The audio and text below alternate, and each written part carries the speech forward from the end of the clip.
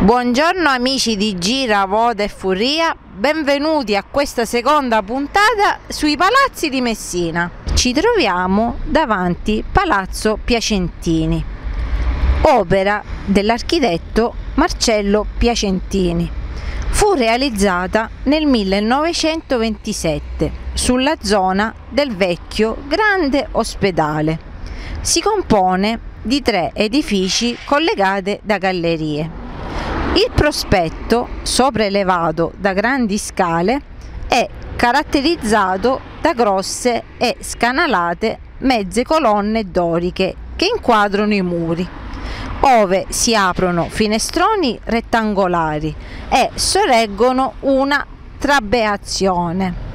Le finestre sono sormontate da rosoni e medaglioni a basso rilievo sul grandioso attico troneggia infine la grande quadriga, condotta dalla dea Minerva, realizzata da Ercole Drei in lega di bronzo e alluminio.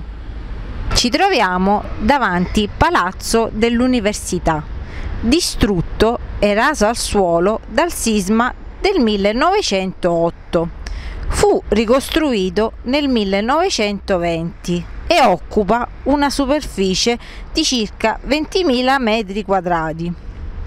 Il complesso edilizio universitario è stato progettato dall'architetto Giuseppe Botto. Dopo l'ultima guerra in relazione al piano di espansione degli Atenei, l'amministrazione universitaria dispose la sopraelevazione di alcuni padiglioni e la costruzione, su progetto dell'ingegner prof. Francesco Basile, da un moderno edificio con fronte su via dei Verdi. I prospetti delle tre palazzine che danno su piazza Salvatore Pugliatti rivelano caratteri neoclassici con decorazioni floreali. Siamo di fronte al palazzo della Camera di Commercio, costruito dopo il terremoto del 1908 su progetto dell'architetto messinese Camillo Puglisi Allegra.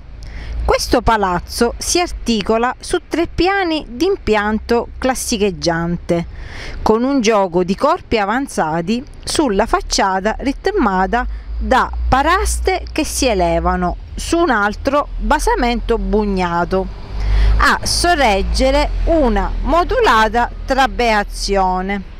Il terzo piano, realizzato al di sopra di essa, ha alterato l'impianto che nonostante il verticalismo dei finestroni, era marcatamente orizzontale. Ci troviamo davanti al Palazzo della Cultura, inaugurato nel giugno 2009 in Viale Boccetta. Ospita, tra l'altro, la Galleria di Arte Contemporanea inaugurata la sera del 25 febbraio 2012 in occasione della Notte della Cultura edizione 2012.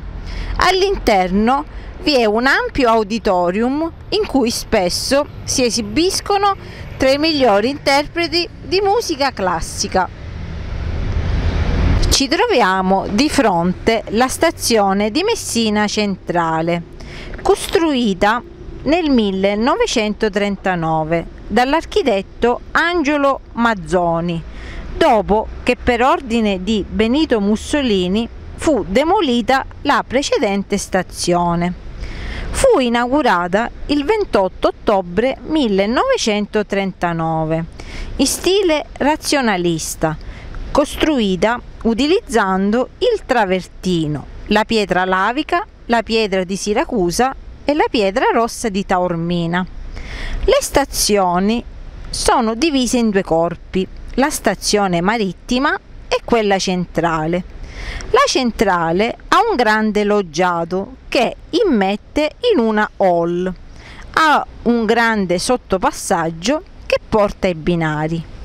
Dopo la stazione centrale si trovano gli uffici delle ferrovie dello Stato. Dopo gli uffici si trova la grande stazione marittima. Questa ha una forma ad arco. Al piano terra si trovano il bar, la biglietteria e la tabaccheria e da scale mobili e scale in muratura si può salire sul salone panoramico sul porto e sulla parete opposta si trova un grande mosaico opera di Michele Caschella. Dal salone si aprono i varchi pedonali per le cinque invasature. Da alcune rampe si può salire sopra la nave con le automobili. Un'altra struttura caratterizzante è la torre dell'acqua con la scala a elica intorno alla struttura. La stazione ha anche il compito di interscambio con il tram di Messina, autobus e stazione pullman fra la Sicilia e il continente. Ci troviamo davanti Palazzo Cerudi Bisanza, nella via Lepanto all'incrocio della via Cesare Battisti è riconoscibile dal inconfondibile Stella di Davide inserita nelle inferiate dei balconi.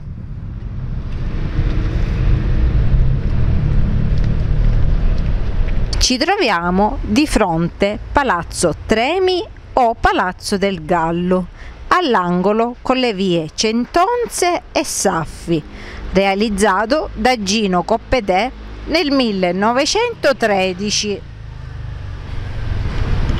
Ci troviamo davanti al palazzo arcivescovile che fu più volte distrutto e ricostruito, l'ultima volta nel 1924. Ci troviamo davanti al palazzo della Cassa di risparmio, opera dell'architetto siciliano Cesare Bazzani nel 1926 tra via Garibaldi e piazza Fulci.